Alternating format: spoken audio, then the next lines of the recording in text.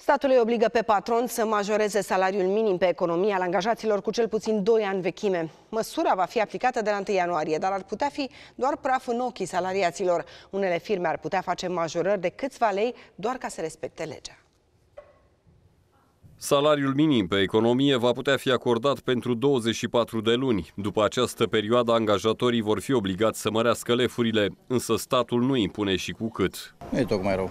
În felul ăsta se rezolvă și multe ine- inechități. Un patron e la latitudinea lui să decide ce face cu angajații. Pentru salariul ăsta în România la ora actuală nu ai ce să faci.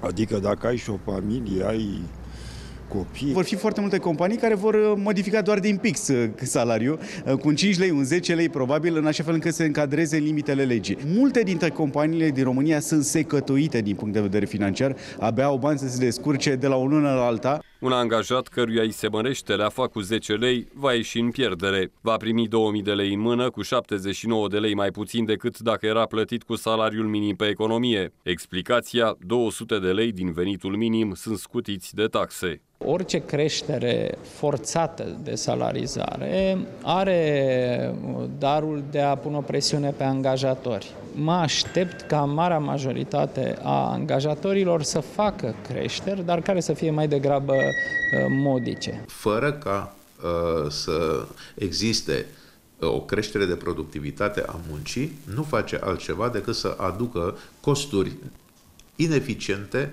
asupra uh, angajatorilor. Ceea ce se va regăsi în limitare de activitate, închideri de firme, șomaj În plus, companiile vor introduce costurile majorărilor salariale în prețurile produselor și serviciilor, astfel încât am putea fi puși în fața unor noi scumpiri.